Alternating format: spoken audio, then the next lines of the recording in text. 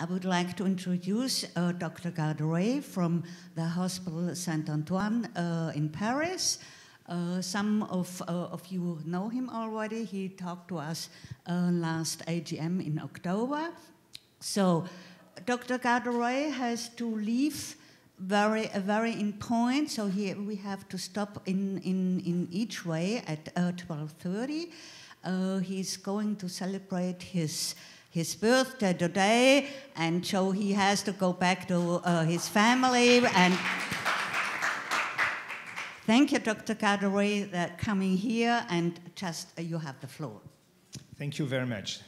It's always a great pleasure to share with you uh, the new drug developments uh, to treat this uh, disease. So actually, uh, the program is huge. Uh, it's both AL amyloidosis and myeloma, uh, focusing on the new drugs and the, the, the, clinical trials, the ongoing ones. Actually, after I suggest that we start first with AL amyloidosis, since uh, Professor Merlini just uh, um, made his, his talk. So I will move, sorry, to, to AL amyloidosis first. Uh, and then come back to, um, yeah. Um, so, um, actually, these are really two different diseases, AL amyloidosis and uh, myeloma. Uh, they all both come from you have abnormal uh, plasmocytes, that's for sure. But um, the number of abnormal malignant plasmocytes are low in AL amyloidosis, while there are much uh, bigger number in uh, myeloma. And uh, while you have, as uh, Professor Merlini already mentioned, bone lesions, kidney failure in myeloma, you do not. It, well, it's, myeloma is a, is, a, is a medullary disease, right? While um, you understand that AL amyloidosis is a systemic disease. And you have heart involvement, uh, kidney involvement, uh, GI involvement, uh, neuropathy. So, really different diseases. But actually, the treatment is uh, more or less the same. The major, how do we treat this disease? You, you, that was already mentioned. There are two targets for many years, the only target was, was to get rid of the abnormal plasmocytes. And this is still the case, of course, because the, the light chain comes from these abnormal cells. But now, this is the brand new uh, development. Uh, it's the ability of monoclonal antibodies targeting these fibrils either as oligomer or full type fibrils that are destroying the organs. So this is really the major uh, breakthrough, and we have three uh, monoclonal antibodies. So this talk will be split in two parts. First, how do we get rid of these abnormal plasmocytes? And second, how do we target the fibrils. There's a lot of overlapping you will see. Professor Merlini already mentioned, but anyway, it's, go it's good to repeat. Um, so he mentioned this major study. It's a major study because for many years, the gold standard of AL amyloidosis treatment was, and it, it still is, the combination of a chemotherapy, melphalan, plus high dose steroids. He mentioned that steroids are very efficient to get rid of these plasmos, abnormal plasmocytes, those the so called MDEX, melphalan plus dexamethasone. And obviously, you know that we have new drugs uh, for myeloma, for uh, but this is also true for AL amyloidosis because we are targeting the same abnormal plasmocytes, and we have uh, new proteasome inhibitors, such as the first in, in class was bortezomib, Velcade, and it was also mentioned the oral one, ixazomib. so what was done was to combine, to add M to MDEX bortezomib. And that was a major phase three randomized international uh, study comparing MDEX plus or minus uh, bortezomib. And uh, the, so this is the schema of the trial, but the results have already been shown. The overall, uh, the, the adverse events were, uh, let's say, uh, acceptable, a little bit more cytopenia, maybe thrombocytopenia, because Velcade does induce uh, thrombocytopenia, um, and neuropathy, because as you know, Velcade does induce some kind of neuropathy. And, uh, but um, the response was, you see, highly superior in the MDEX uh, Velcade uh, arm. And that's the, uh, the, the details on the organ response and on the uh, hematological response. And these are the, that, that was already shown. You have a better time to second line therapy with the MDEX Velcade. And even though the overall survival was superior but not statistically superior, uh, if you look specifically to the subset of patients with the cardiac involvement, stage two, you do have an overall survival benefit adding Velcade to MDEX. And that's, that's also um, the, the hematological response and the cardiac response.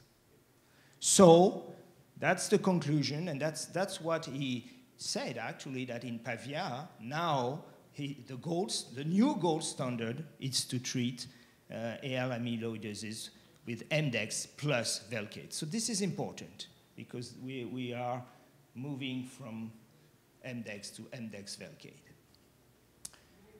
Now, another study that has recently been published by his same team um, um, tested the IMiDs, you know that we have the proteasome inhibitors, but we have also the class the IMiDs, and we have thalidomide, uh, lenalidomide, and pomalidomide. And uh, um, they published, Pavia study published, that for patients who have already um, been treated with uh, uh, the proteasome inhibitors, alkylating agents, lenalidomide, well, you could treat them successfully with pomalidomide.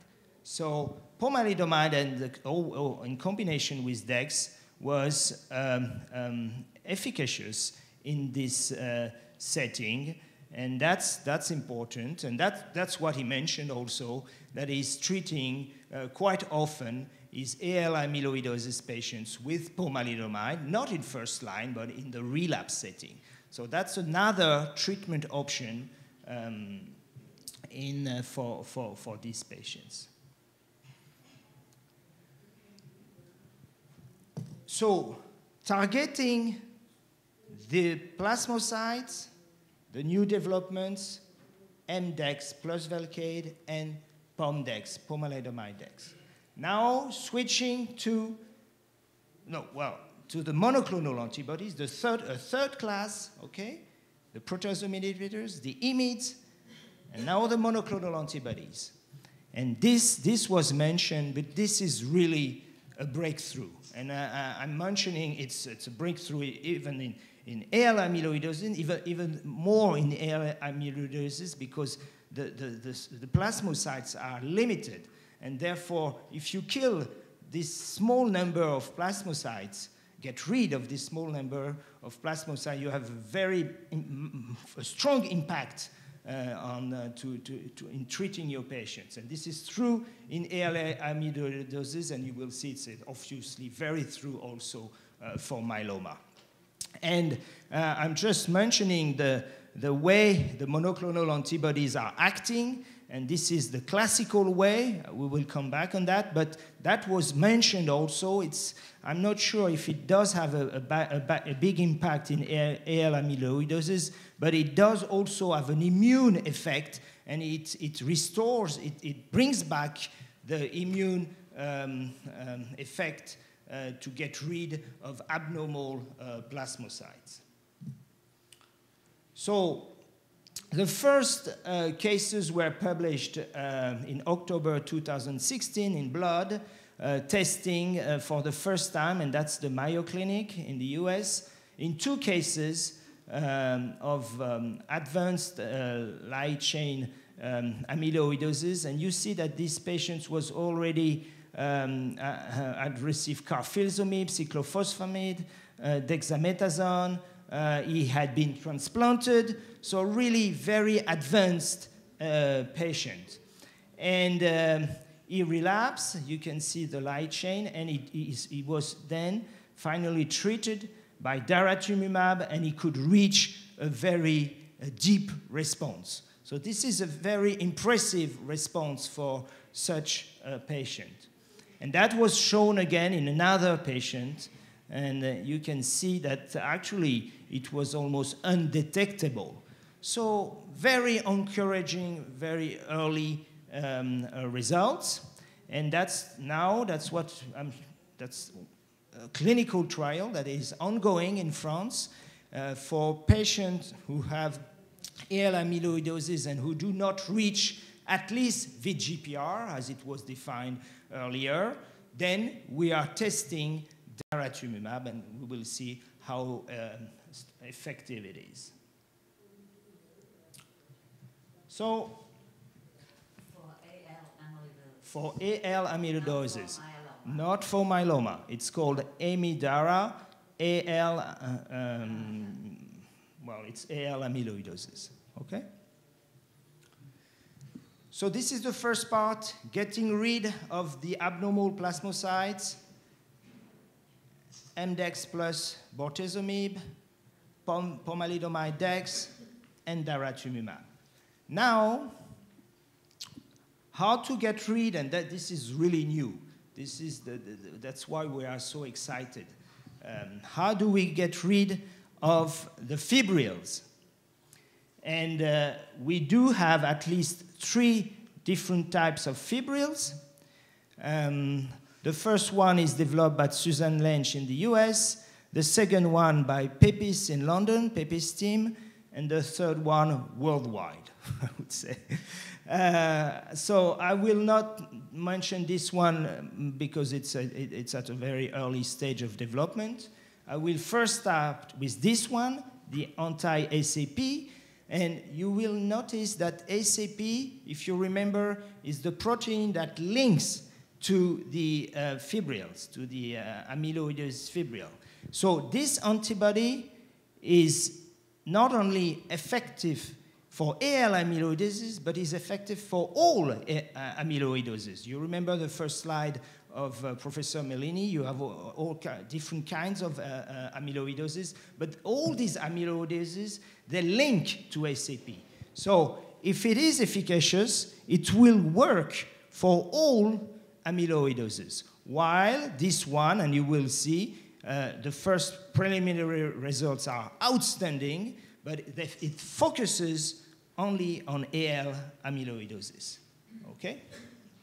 So I will just remind you that was published, yeah, two years ago uh, in the New England Journal of Medicine, uh, and that was the first uh, time that we uh, heard from the Pepys team in London uh, about this uh, very active antibody, the antibody against ACP. So it's actually a two phases treatment. First, they give the antibody to get rid of the circulating ACP, and then they had another antibody, and that will get rid of the fibrils, okay, and remove actually uh, the um, amyloidosis.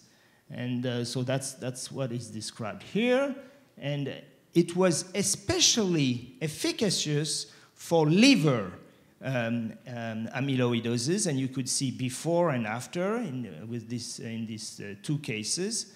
Uh, and, uh, and, and that was, I'm just showing you the number of patients and the different uh, organs and the different, the different amyloidoses that have been treated. So again, not only AL, but all kinds of amyloidoses. And so far, it's very efficacious for liver uh, amyloidosis. We have not heard too much since then, since this uh, publication, but I believe um, its, its uh, trials are, I guess, ongoing. Now we're moving to the NEOD, NEOD that was already mentioned, and I must say that um, that was um, first published also, you see, a, a year ago, um, and uh, and it was updated at the last ASH meeting. Um, and uh, the, the, results are absolutely uh, so a small number of patients, of course, uh, but um, the results are uh, absolutely outstanding. You see the, um, the cardiac, the cardiac uh, response. And uh, I would like to stress again that what Professor Merlini said. Uh, cardiac is really the major problem. And uh, if there is a, I would like to say it again, a take-home message on AL amyloidosis, Professor Merlini said it many times, but in my clinic, the patients that I see, they do have cardiac involvement. And when, you, when there is cardiac involvement, it may improve with the monoclonal antibody and the treatments that I've just mentioned it's very difficult to, to, to treat them successfully. Very difficult. So the take-home message is really the early diagnosis. And you may have a, a major impact in advertising uh, because indeed it's a rare disease. You know, uh, for, from, from uh, Professor Merlini, it's not so rare. It's like Hodgkin disease. But, you know, a GP, he will see one or two myeloma patients in his whole life and never uh, uh, AL uh, amyloidosis. I mean, never, but he, he, should see at least one, and that, that's the one that he should diagnose very early because that will make a difference. Otherwise, once you reach the stage of heart involvement, it becomes very difficult, really. However, and that that's why it was so outstanding, these results, you know. We, we could see that the NT-proBNP, that, that reflects the heart functioning, uh, such, such a decrease, you know, with this treatment, and quite um, quickly. You see, median time to response is two months. So this is, this is quick, a quick, on a quick response. And um, so, um, uh, biologically, at least, the NT-proBNP decreased. I remember that we discussed that uh, with uh, Prothena uh, in terms of heart function, because this is really what we want. Uh, I'm, I'm, not so sure, but we can ask um, um our colleague from, from the company. Um, so, outstanding result for heart, outstanding result for Kidney, you remember, kidney, it's very easy. Proteinuria, you see, you remember proteinuria, 50 cents to, to monitor. Uh, you see the decrease of proteinuria. Uh, so, um, and, and also that was outstanding. And I think, if I remember correctly, that was, you correct me if I'm wrong, the first time we, that we could show a response on, on, the, on the, the neuropathy. Uh, if I'm correct. So do you see? The neuropathy was also uh, uh, much improved with this treatment. Um, and that was not related to the previous uh, treatment. So, really, all the signals were showing that indeed it was the monoclonal antibody, the so called NEOD, that was active uh, um, in, in, this setting. And therefore, two studies were um, uh, launched, and that was um, um, already uh, mentioned. the so-called vital, and you understand why it is vital. It's, it was uh, for, uh, specifically for patients with heart involvement.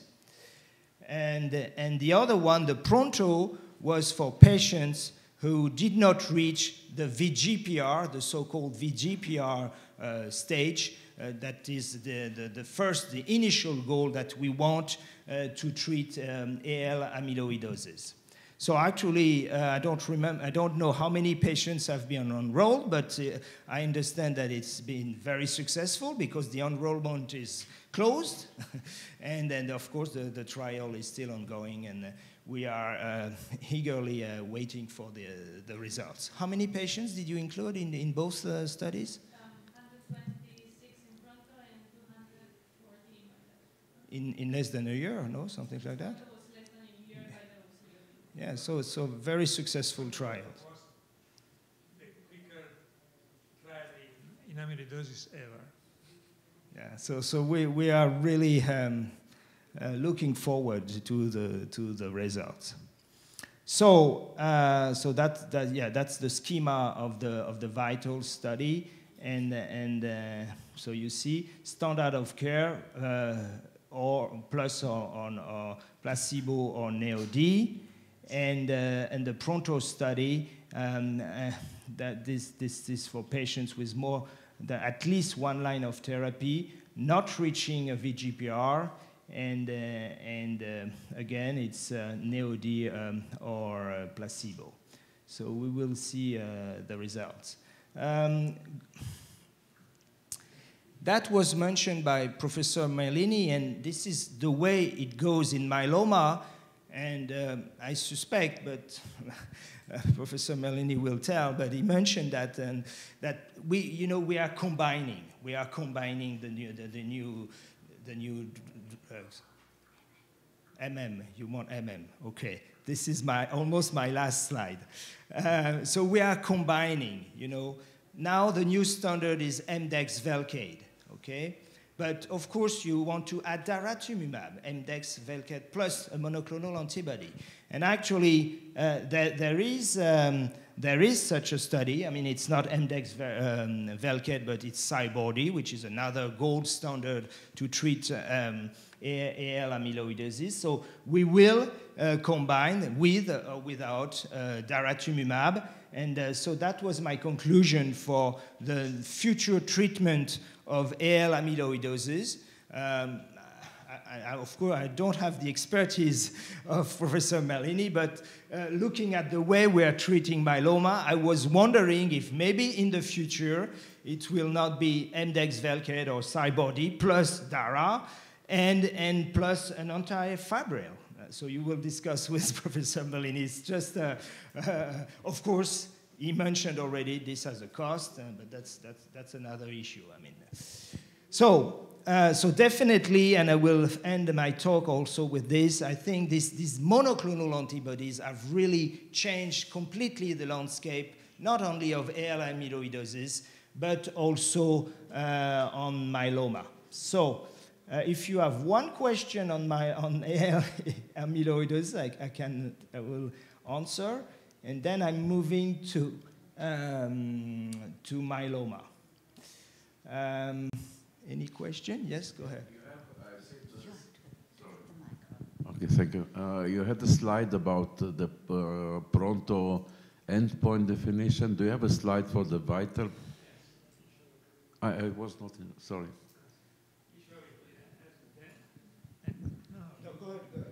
show it the endpoint, whereas we said, I mean, hospitalization and mortality for the vital. Can you show it again for one moment? Yeah.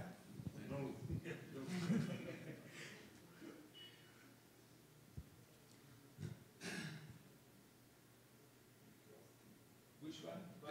The vital, you see, time to composite or cause mortality or cardiac hospitalization.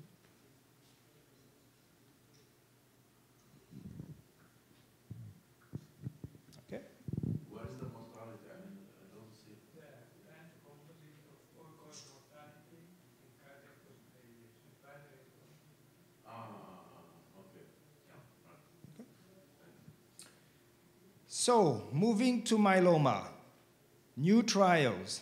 So, you know, I, I had to make choices, right? because, uh, so uh, I'll start with this one, you know. This one is about ixazomib. If you go to clinicaltrials.gov, you know, you almost have 90 trials, including AL amyloidosis, uh, with ixazomib. I'm just showing you this slide um, to, to show you that uh, ixazomib is tested, uh, is tried uh, at every stage of, uh, of myeloma. But this is only a real small number uh, among the 90 studies uh, that are ongoing. So, um, you know, it's called tourmaline. You, you, you're probably familiar with this. So I decided that I will have to make a choice. I will not uh, go through carfilzomib and, and even pomalidomide and uh, all these exciting new drugs. So I, I will focus only on immunotherapy. Why will I focus on immunotherapy? Because it's extremely exciting. We, we, we, we believe it's a completely changing field. Um, I will tell you a, a, a, small, short story. 20 years ago, I, try, I did um, uh, dendritic cells, and I loaded the dendritic cells with the immunoglobulins, and I tried to induce um, um, um T cells, uh, T cells directing against the plasmocytes. So I completely failed. I mean, not, not completely. I published the results, the negative results, and I stated all the reasons why it failed. But at that time, for example, we had never heard of checkpoints, in uh, you know, um, that we know are so important. Uh, but um, some years later, uh, uh that, uh, my, my wife had told me that actually she had been very impressed the, by the way I was talking about dendritic cells, and uh, that's, that's, uh, that's part of my success. and so I, I, I, did not completely fail in, in, in uh, trying uh, uh, the immunotherapy in myeloma. But for many years, people never be, did not believe in, uh, in, in immunotherapy. And actually now it's, it's different. You see this slide is, is really nice. It explains the different, the major uh, ways to target you know, the plasmocytes, uh, the abnormal plasmocytes, either by a monoclonal antibody or by CAR T cells. So you take the T cells of the patient and you, with the brand new technology, you uh, put at the surface very specific uh, receptors that will target the, the, the, the, the cancer antigen on the, on the plasmocytes. So this is extremely exciting. And you have also the checkpoint inhibitors, and I will come back on that. You know that uh, the immune system is ready to uh, get rid of the cancer, but cannot act properly act because there are uh, inhibitors, so we inhibit the inhibitors. This is the so-called checkpoint inhibitors, and then we release the brake, and it, it, it works, actually. It, uh, as you know, it works very efficiently uh, in many uh, solid tumors, and it does work to, to some extent also uh, in hematology and specifically in myeloma. And I will not go too much on the, this, this other pathway. So let's focus first on monoclonal antibodies again. Um, so we are, uh, we have uh, in myeloma, especially the um, two targets, SLAM7 or CS1 and the CD38 that we already uh, mentioned. And uh, looking at CD38, we have three antibodies, DARA that I already mentioned, uh, SAR, isatuximab, developed by Sanofi, and, and a third one uh, uh, at, at, a most, uh, much earlier development. But you could see that we have many other targets in development, only monoclonal antibodies. And the very first one I should mention is elotuzumab. Elotuzumab was the first one to prove that a monoclonal antibody could be uh, efficient in myeloma. We had tried many antibodies, anti-IL-6, anti-CD20, and it did not work. Uh, well, this one was the first one, but I must say it does work in combination. It does not work by itself. And specifically, it needs to be combined with an IMiD. It's, it's, it, it, works best with an IMiD. Uh, so, um, so we, we, we should recognize that this, this is the very first active monoclonal antibody in myeloma. But the, the, uh, just right after arrived daratumumab. And daratumumab, you know, not only uh, is very effective, also by itself, because I mentioned to you that uh, it, it, does act like all uh, monoclonal antibodies, but also it regulates the immune system of the patient and it boosts the immune system. That actually, that's the way we understand why it does work as a monotherapy. So uh, I'm emphasizing actually daratumumab because it's difficult uh, for elotuzumab to develop while uh, daratumumab is, uh, I must say, more efficient. And you can see that it is, uh, it, is it has been trialed uh, everywhere. Of course, you're very familiar, I'm sure, and I'm not mentioning it in the relapse setting, extremely encouraging results, especially the Pollux trial, Revlimid Dex, plus daratumumab with an expected PFS in the relapse expected. I mean, not reached yet, but expected of around maybe 40 months. I mean, that's what I heard uh, not too long ago, while uh, so far the best relapse treatment was the combination of carfilzomib, Revlimid, Dex with a median PFS of 28 months, right? So you see the, the jump, uh, if I may say. So uh, extremely encouraging in the relapse setting. The Cassiopeia, I will mention that, and we have just finished enrollment, more than a thousand patients, a joint study with the HOVON uh, and the IFM, and, uh, and I will come back on that, but also, so that's in the, um, in the, in the first, uh, in the frontline setting, in the transplant eligible, transplant ineligible MAIA study. Um, so definitely daratumumab will, will make uh, a, a, paradigm shift uh, uh, in the treatment of, of myeloma. And uh, I will mention also isatuximab, so it's, it's, it's, its development is not as developed as it is with daratumumab, but uh, you can see you have um, uh, many uh, different studies, mostly in the relapse setting, but also for smoldering myeloma. And, um, um, and uh, in, in France, I mean, this, this uh, trial will uh, start and we will um, enroll patients in, in the so-called ICARIA trial, so that's in the relapse setting. It's Pomdex plus or minus isatuximab. So this, this is just just uh, beginning, and the IFM uh, uh, will be part of this important study. So, first, the monoclonal antibodies. Second, the checkpoint inhibitors that I mentioned, and I'm sure you're familiar with. This is the uh, schema showing the tumor, the myeloma, uh, um, abnormal uh, myeloma cells, and, and um, expressing PD-L1 and inhibiting actually the active immune system of the patient. So the patient uh, cannot uh, get rid of uh, the myeloma cells, and we do have now uh, checkpoint inhibitors, uh, um, so uh, interacting between PD-L1 and PD-L1, and it is, as you know, currently in development, mostly these two studies, Lendex plus or minus, uh, uh, I mean, it's not plus or minus, it's a phase two study, plus pembrolizumab and uh, Pomdex plus, plus uh, pembrolizumab. So this is, uh, this is ongoing in terms of uh, checkpoint inhibitors in myeloma.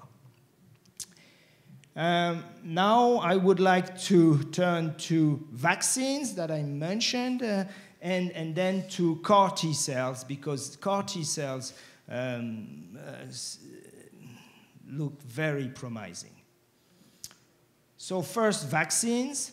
Um, so the idea is the, that you will, uh, so this, this, uh, this treatment will only be uh, tested in the maintenance because uh, you, you, don't expect to have a, a, um, a, very strong immune response, so strong that you could uh, um, uh, treat an active myeloma. But in the maintenance uh, phase, it could be uh, successful. So you see, that's what I tried to do 20 years ago. Dendritic cells uh, fused with myeloma cells, and you, you hope that you will uh, boost the immune system and, uh, and get rid of the, of the, um, uh, of the um, myeloma. So either in the maintenance phase or in the, in the early phase of myeloma, so-called uh, the so-called smoldering uh, myeloma. So this is actually uh, currently tested, and I know that Avigan in, in the US, um, with the big um, um, transplant, uh, American transplant network, is testing this vaccine uh, strategy in uh, the maintenance uh, phase, post-autologous stem cell transplantation. But here you can see um, other um, uh, different um, vaccine uh, strategies. Monoclonal antibodies, uh, checkpoint inhibitors, vaccines, and I will, I will close this immune um, overview, immune therapy overview with the CAR T cells. So CAR T cells have been presented uh, by the Americans and uh, also by Chinese. They do a lot of uh, CAR T cells in China. And um, I was at the ASCO meeting in Chicago uh, months ago or two months ago, and uh, there was an oral presentation by a Chinese team, and extremely uh, impressive, really with limited toxicity, no cytokine release syndrome. You know, this is a major issue with, with that type of technology. No uh, neuropathy of the central nervous system, and, and highly efficient. So efficient that you wonder if it's really true, but uh, it, that was presented in a major uh, congress. And um, um, of course, it's, very, it's, it's still very difficult. The technology is, is huge. You know, very, a very limited number of centers can actually produce CAR T cells. In France, we are testing uh, in one center. I don't know about in Italy. Do you have any, anyone doing CAR Well, I think that we are exploring in, um, in Torino, in Milan also, Corradini, and uh, we are also trying it in Pavia because it's ideal in amyloidosis because you have such a small clone. But we are concerned about the side effects. So, but it's still at a very early stage. But um, you, you remember the very first paper was published in one case uh, with a CD19 uh, target, you know, and uh, and that uh, that was shown um, that you, you could see you see the monoclonal um, uh, peak decreasing to zero, and um, that was very the very first reported case and uh, you could see the, the, disappearance of the plasmocytes after this uh, treatment. And and now now the, the so you have it's very important also to choose the target. So now we're moving from CD19 because it was probably not the best target to BCMA, and BCMA are uh, currently the best target uh, in the field of uh, CAR T cells in, in, myeloma. So that, that's what I was mentioning with the Chinese team. Actually, it was a CAR T cells directed to BCMA. So these, these are different uh, trials ongoing uh, with uh, cell therapy, immune cell therapy in myeloma.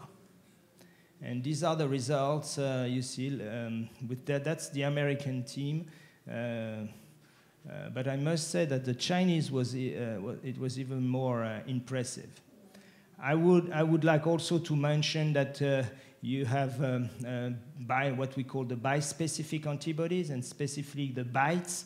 And then, so one, one, one side targets the, the tumor and